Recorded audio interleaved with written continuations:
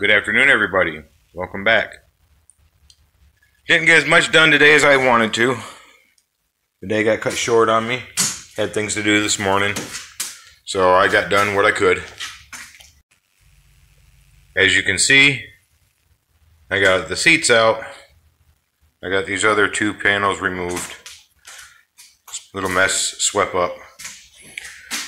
But there's some screws that are left in the floor. There's a nail. Screws, nails. Got these dozen bolts that were bolted through the plywood, through the rubber. They go underneath the bus to two big cooling units. I believe one is for this air conditioner, and there used to be an air conditioner in the back. Um, I found hoses under running through the frame that I haven't traced down yet. But going by the marks in the ceiling, I'm going to say there was an air conditioner back here at one time. So I might be able to remove one of these cooling units under the bus. We will have to wait and see after it dries out.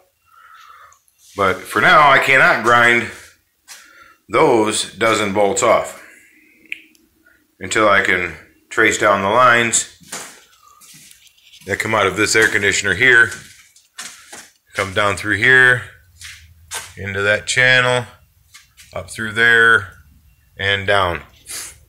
So, but I believe that's what they are. I was underneath the bus a while back before it got stuck. And, well, actually, I was underneath it when it got stuck too.